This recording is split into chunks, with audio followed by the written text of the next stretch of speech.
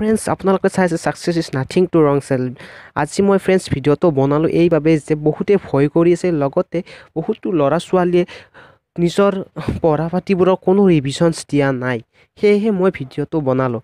Because ৰিভিশ্যনছ very very important পোনপ্ৰথমে মই কথা পাতিম ৰিভিশ্যনৰ বিষয়ে তাৰপিছত কথা পাতিম ভয় লগা বিষয়ে।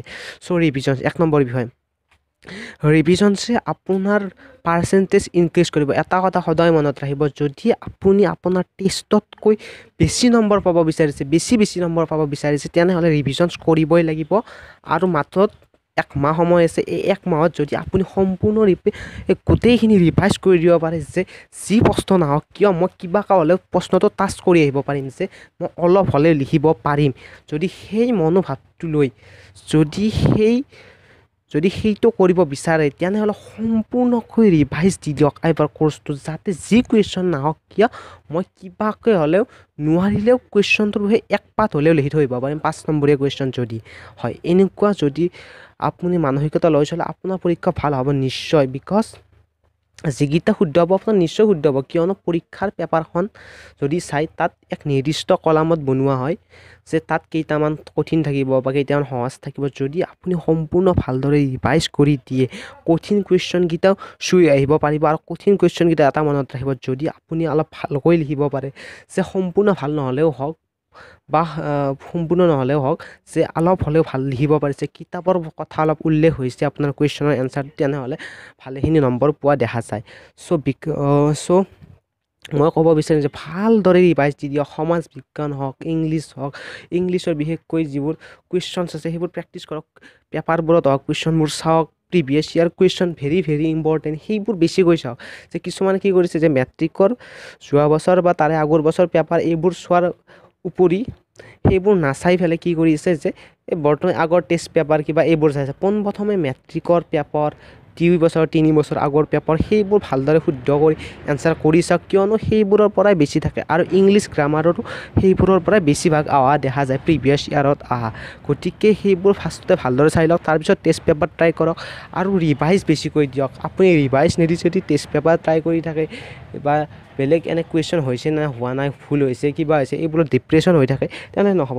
পোনপ্ৰথমে পূৰা ভালদৰে ৰিভাইজ কৰি লওক। আপুনি মই এটা কথা কৈ লওঁ যে যদি আপুনি ভালদৰে ৰিভাইজ দিয়ে আপোনাৰ পাৰ্চেণ্টেজ টেষ্টত যি আছিল তাতকৈ সদায় ভাল হ'ব। মই নিজৰ ক্ষেত্ৰতে এইটো প্ৰমাণ পাইছোঁ যে মই ভালদৰে ৰিভাইজ দিয়াৰ কাৰণে মোৰ ষাঠি নম্বৰ ইনক্ৰিজ হৈছিল হয়।